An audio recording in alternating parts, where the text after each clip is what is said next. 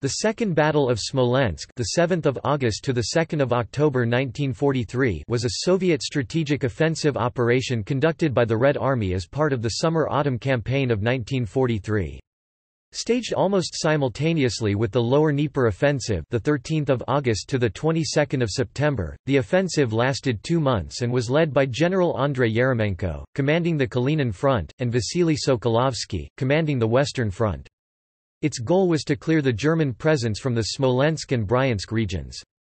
Smolensk had been under German occupation since the First Battle of Smolensk in 1941. Despite an impressive German defense, the Red Army was able to stage several breakthroughs, liberating several major cities, including Smolensk and Roslavl. As a result of this operation, the Red Army was able to start planning for the liberation of Belarus. However, the overall advance was quite modest and slow in the face of heavy German resistance, and the operation was therefore accomplished in three stages, 7–20 August, 21 August to 6 September, and 7 September to 2 October. Although playing a major military role in its own right, the Smolensk operation was also important for its effect on the Battle of the Dnieper. It has been estimated that as many as 55 German divisions were committed to counter the Smolensk operation Divisions which would have been critical to prevent Soviet troops from crossing the Dnieper in the south. In the course of the operation, the Red Army also definitively drove back German forces from the Smolensk land bridge, historically the most important approach for a Western attack on Moscow. Constituent operations The strategic operations included smaller operations, Spas-Demensk offensive operation 7 to 20 August 1943 Dukhovshchina Demidov offensive operation one stage 13 to 18 August 1943 Yelnya Dorogobuzh offensive operation the 28th of August to the 6th of September 1943 Dukhovshchina Demidov offensive operation two stage the 14th of September to the 2nd of October 1943 Smolensk-Roslavl offensive operation, the 15th of September to the 2nd of October 1943. Bryansk offensive operation, the 17th of August to the 3rd of October 1943. Topic: Strategic context. By the end of the Battle of Kursk in July 1943, Germany had lost all hope of regaining the initiative on the Eastern Front. Losses were considerable and the whole army was less effective than before, as many of its experienced soldiers were killed during the previous two years of fighting. This left the German army capable of only reacting to Soviet moves.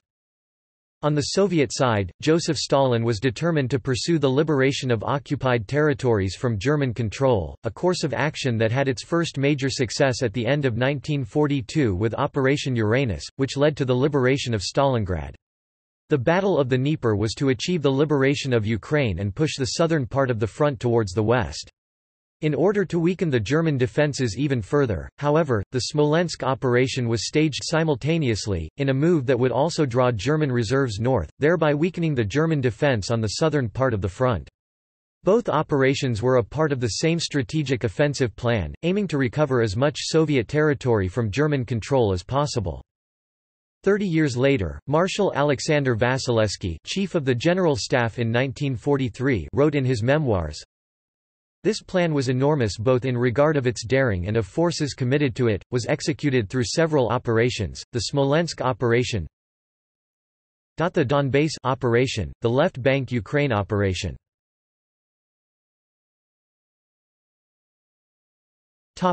Geography The territory on which the offensive was to be staged was a slightly hilly plain covered with ravines and possessing significant areas of swamps and forests that restricted military movement. Its most important hills reached heights over 270 metres 890 feet, allowing for improved artillery defence. In 1943, the area was for the most part covered with pine and mixed forests and thick bushes. Numerous rivers also passed through the area, the most important of them being the Donets Basin, Western Dvina, Dnieper, Desna, Volost, and Ugra rivers. Dnieper is by far the largest of them and strategically most important. The surrounding wide, swamp-like areas proved difficult to cross, especially for mechanized troops. Moreover, like many south-flowing rivers in Europe, the Dnieper's western bank, which was held by German troops, was higher and steeper than the eastern. There were very few available bridges or ferries. Transport infrastructure For the Soviet troops, the offensive was further complicated by a lack of transport in the area in which the offensive was to be staged. The road network was not well developed and paved roads were rare. After rainfall, which was quite common during the Russian summer, most of them were turned into mud a phenomenon known as rasputitsa, greatly slowing down any advance of mechanized troops, and raising logistical issues as well. The only major railroad access available for Soviet troops was the RZHEV Vyazma-Kirov line. The Wehrmacht controlled a much wider network of roads and railroads, centered on Smolensk and Roslavl. These two cities were important logistical centers, allowing quick supply and reinforcements for German troops. By far the most important railroads for German troops were the Smolensk-Bryansk axis and the Nevel-Orsha-Mogilev axis, linking German western troops with troops concentrated around Oryol. As part of the Soviet planning the German railroad communications were attacked by the partisans during the conduct of Operation Concert, one of the largest railroad sabotage operations of World War II. Topic: Opposing forces. Topic: Soviet offensive sector. In July 1943 the Soviet front line on this part of the Eastern Front was a concave with a re-entrant around Oryol. The re-entrant exposed the Wehrmacht to flank attacks from the north but the offensive the main attack carried out Kalinin and western fronts would be quite difficult. The Western Front had assigned for the operation the 10th Guards Army, 5th Army, 10th Army, 21st Army, 33rd Army, 49th Army, 68th Army, 1st Air Army, 2nd Guards Tank Corps, 5th Mechanized Corps, 6th Guards Cavalry Corps. The Kalinin Front would have for the operation the 4th Shock Army, 39th Army, 43rd Army, 3rd Air Army, 31st Army. German defences As a result of the shape of the front, a significant number of divisions of Army Group Center were kept on this part of the front because of a quite legitimate fear of a major offensive in this sector.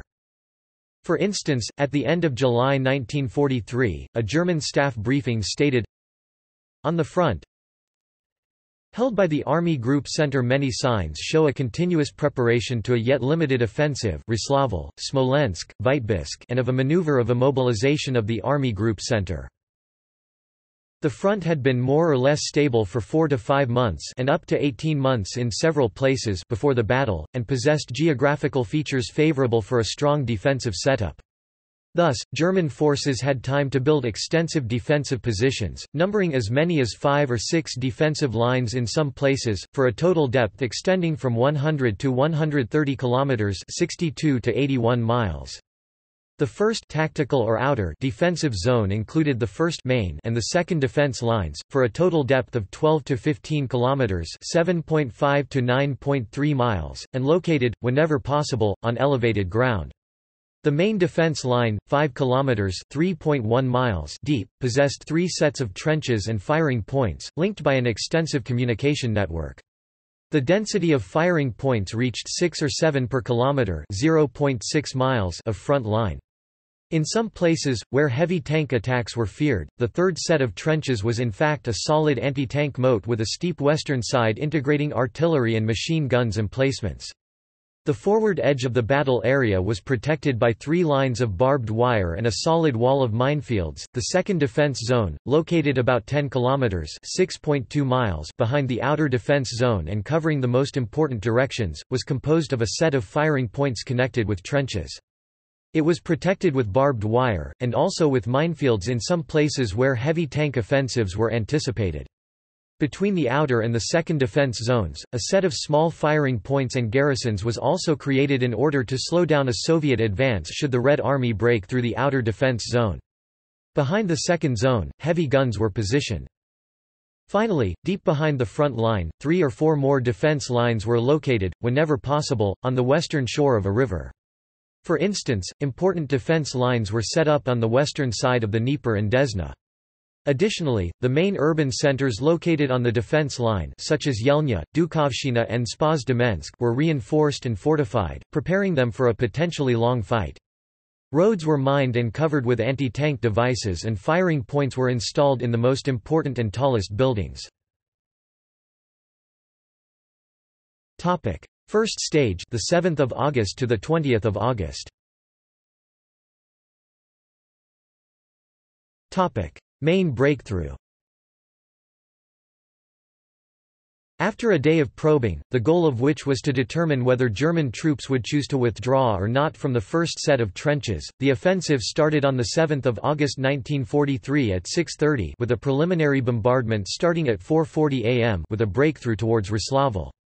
Three armies were committed to this offensive, the 5th Army Soviet Union, the 10th Guards Army, and the 33rd Army. The attack quickly encountered heavy opposition and stalled. German troops attempted numerous counterattacks from their well-prepared defense positions, supported by tanks, assault guns, and the fire of heavy guns and mortars. As Konstantin Rokossovsky recalls, "...we literally had to tear ourselves through German lines, one by one." On the first day, the Soviet troops advanced only 4 kilometers (2.5 miles), with all available troops including artillery, communications, and engineers committed to battle. Despite violent Soviet attacks, it quickly became obvious that the three armies would not be able to get through the German lines. Soviet commanders decided therefore to commit the 68th Army, kept in reserve, to battle. On the German side, three additional divisions 2nd Panzer Division, 36th Infantry Division, and 56th Infantry Division were sent to the front from the Oryol sector to try to stop the Soviet advance. The attack resumed the following day with another attempt at a simultaneous breakthrough taking place further north, towards Yartsevo. Both attacks were stopped in their tracks by heavy German resistance. In the following five days, Soviet troops slowly made their way through German defences, repelling heavy counterattacks and sustaining heavy losses. By feeding reserve troops to battle, the Red Army managed to advance to a depth varying from 15 to 25 kilometers (9.3 to 15.5 miles) by the 11th of August. Subsequent attacks by the armoured and cavalry forces of the 6th Guards Cavalry Corps had no further effect and resulted in heavy casualties because of strong German defences, leading to a stalemate. Spas-Demensk offensive During the Spas-Demensk offensive operation Russian, Spas-Demenskaya Nastupatelna Operatia in the region of Spas-Demensk, things went better for the 10th Army. The Wehrmacht had fewer troops and only limited reserves in this area, enabling the 10th Army to break through German lines and advance 10 kilometers (6.2 miles) in 2 days.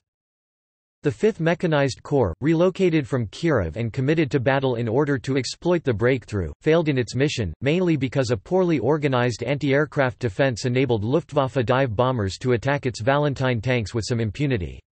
The Corps sustained heavy losses and had to pull away from combat. Soviet troops eventually advanced a further 25 kilometers 16 miles as of the 13th of August, liberating Spas-Demensk. Topic: Dukhovshchina offensive.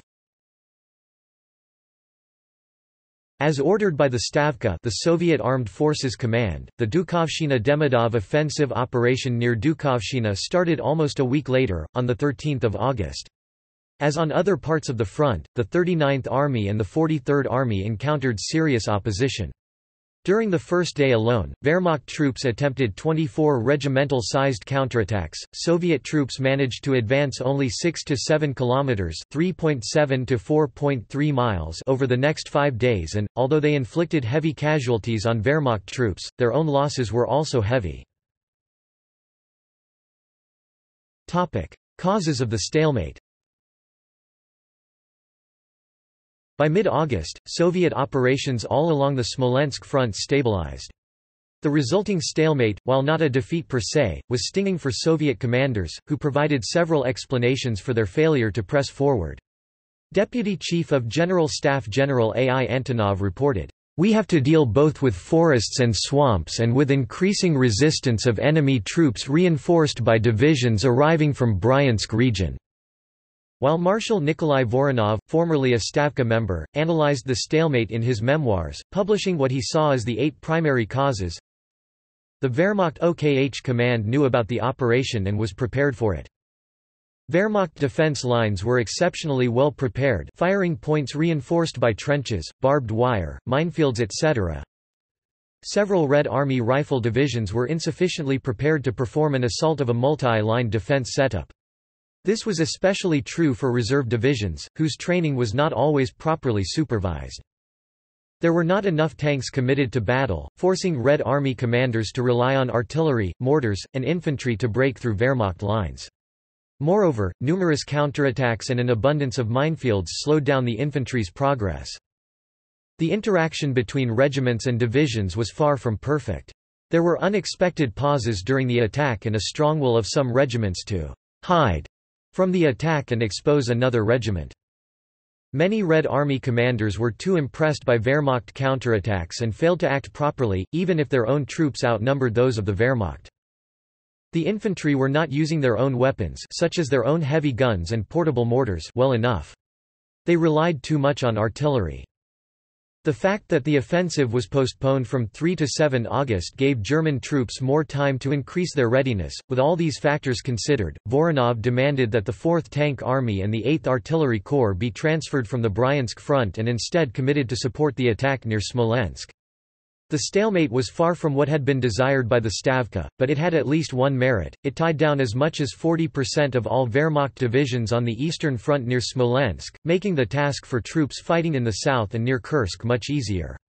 The Stavka planned to resume the offensive on 21 August, but decided to postpone it slightly to give Soviet units time to resupply and reinforce. Second stage, the 21st of August to the 6th of September. By mid-August, the situation on the Eastern Front had changed as the Red Army started a general offensive, beginning with the Belgorod-Kharkov Offensive Operation Operation Polkovodets Rumyantsev, 3–23 August and the Orlov Offensive Operation Operation Polkovodets Kutuzov, 12 July to 18 August otherwise known as the Battle of Kursk, and continuing with the Wehrmacht's defensive Battle of the Dnieper Line in North Ukraine. Nevertheless, the Wehrmacht command was still reinforcing its troops around Smolensk and Roslavl, withdrawing several divisions from the Oryol region. As a result, the two Soviet counteroffensives that followed the Kursk defensive operation 5 July proceeded relatively easily for the Red Army around Oryol, creating a large salient south of Smolensk and Bryansk. In this situation, the former attack axis, directed southwest towards Roslavl and Bryansk, became useless. The Stavka decided instead to shift the attack axis west to Yelnya and Smolensk. Yelnya offensive The Yelnya-Dorogobuzh offensive operation was considered the key to Smolensk and Wehrmacht troops created a massive fortified defensive position around the city. Swampy areas on the Desna and Ugra rivers were mined and heavy guns set up on hills overlooking the city. The Soviet armies, aware of the Wehrmacht preparations, were reinforced with tanks and artillery during the week from 20 to 27 August. The offensive finally commenced on 28 August by the 10th Guards Army, 21st Army and the 33rd Army, supported by three tank corps, a mechanized corps and the 1st Air Army. These four armies were covering a front of only 36 kilometers 22 miles, creating a very high concentration of troops. The troops, however, had fuel and supplies for two weeks at most. Soviet troops moved forward after an intense 90 minute shelling. The artillery bombardment as well as ground attack aircraft significantly damaged Wehrmacht lines, allowing the Red Army to execute a breakthrough on a 25 kilometers 16 miles front and advance 6 to 8 kilometers 3.7 to 5.0 miles by the end of the day. The following day, 29 August, Red Army Rifle divisions advanced further, creating a salient 30 kilometers 19 miles wide and 12 to 15 kilometers 7.5 to 9.3 miles deep in order to exploit the breakthrough. The 2nd Guards Tank Corps was thrown into the battle. In one day, its troops advanced 30 kilometers 19 miles and reached the outskirts of Yelnya. Leaving Wehrmacht troops no time to regroup, Red Army troops attacked the city and started to form an encirclement. On 30 August, Wehrmacht forces were forced to abandon Yelnya, sustaining heavy casualties. This commenced a full-scale retreat by Wehrmacht troops from the area. By 3 September, Soviet forces had reached the eastern shore of the Dniepr. Bryansk maneuver Near Bryansk, things went equally well for the Soviet armies, despite heavy German resistance. However, an identified weakness changed all the previous plans. A surprisingly easy capture of several hills commanding the Dubrovka region north of Bryansk, with numerous German soldiers captured in total absence of battle readiness, came to the attention of General Markian Popov, commander of the Bryansk front from June to October 1943. This meant that the Soviet offensive was probably not expected along that particular axis. Therefore, the boundary between the First Belarusian Front and the Western Front was shifted south, and two new armies executed a single pincer movement to Dubrovka and around Bryansk, forcing German forces to withdraw. By 6 September, the offensive slowed down almost to a halt on the entire front, with Soviet troops advancing only 2 kilometers (1.2 miles) each day. On the right flank, heavy fighting broke out in the woods near Yartsevo. On the center, advancing Soviet troops hit the Dnieper defense line. On the left flank, Soviet rifle divisions were slowed as they entered forests southwest of Yelnya. Moreover, Soviet divisions were tired and depleted, at less than 60% nominal strength. On 7 September, the offensive was stopped, and the second stage of the Smolensk operation was over. Third stage the 7th of September to the 2nd of October.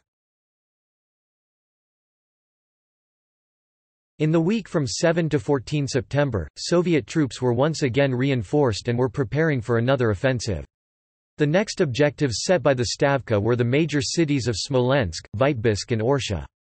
The operation resumed on 14 September with the Smolensk-Roslavl offensive operation, involving the left flank of the Kalinin Front and the Western Front.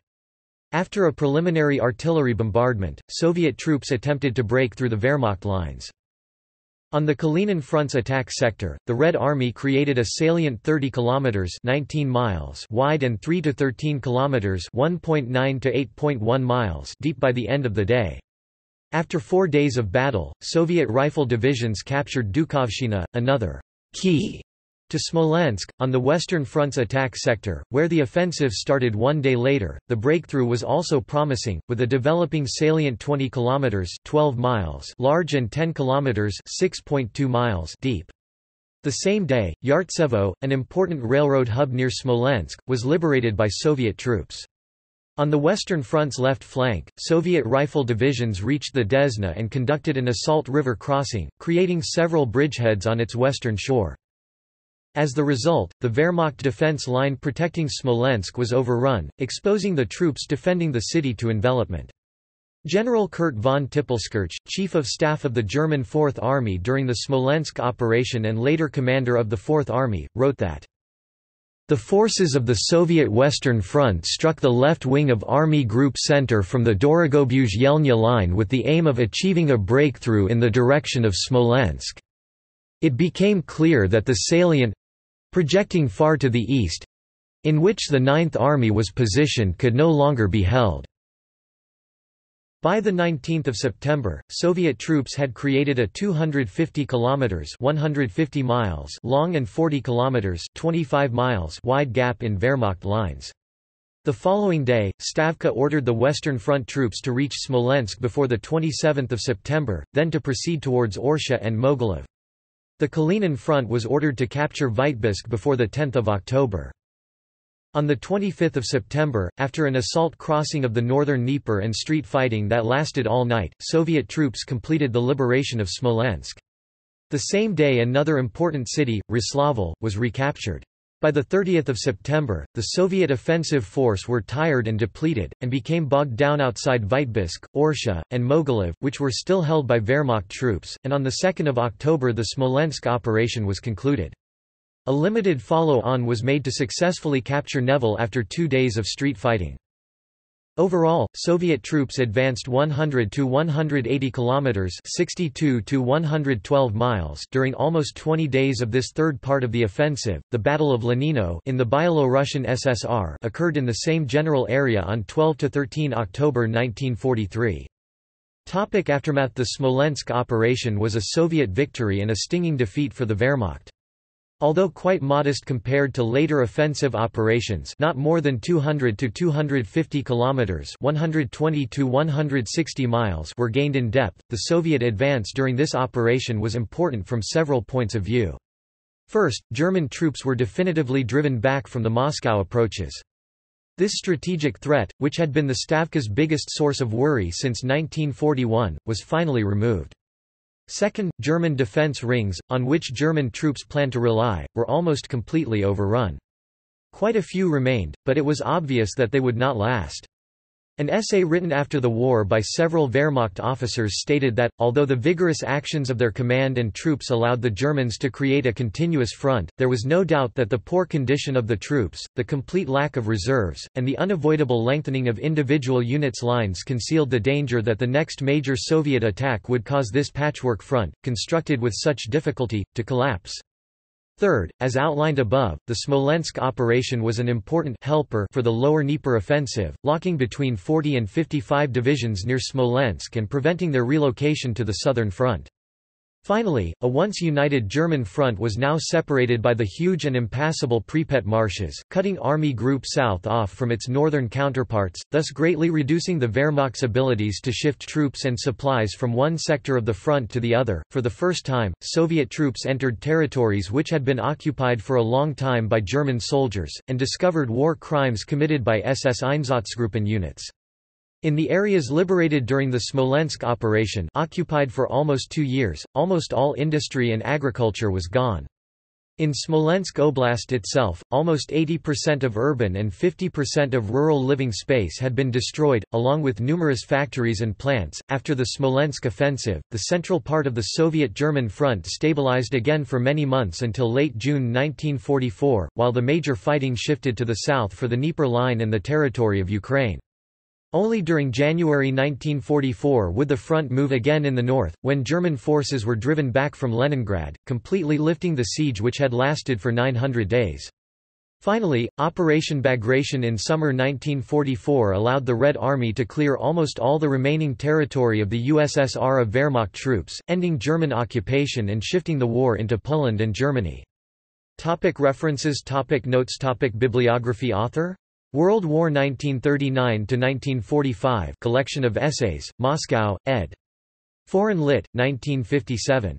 Glantz, David M. and House, Jonathan 1995, When Titans Clashed, How the Red Army Stopped Hitler, Lawrence, Kansas, University Press of Kansas, ISBN 0-7006-0899-0 Grechko, A. A. and Al., History of Great Patriotic War, 1941–1945, Moscow, 1963.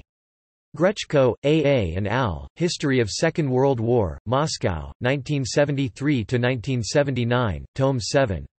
Istomin, V.P. Collective work, part written by V.P. Istomin Operations of Soviet Armed Forces during the Great Patriotic War 1941–1945, Tome 2, Voenizdat, Moscow, 1958. Istomin, V.P. Smolensk Offensive Operation, 1943 Moscow, Mil. Lib. 1975. Rokossovsky, K. Soldier's Duty, Moscow, Politizdat, 1988. Shefov, Nikolai. Russian Fights, Lib. Military History, Moscow, 2002. Tippelskirch, Kurt. History of Second World War, Moscow, 1957. Vasilevsky, A. M. The Matter of My Whole Life, Moscow, Politizdat, 1973. Veno Istoricheski Journal Military History Journal, 1969, No. 10, pp. 31, 32 Voronov, N.N. On Military Duty, Moscow, Lib. Millet. ed. 1963. Yeremenko, A. I. Years of Retribution, Moscow, Science, 1969. Zhukov, G. K. Memoirs, Moscow, ed.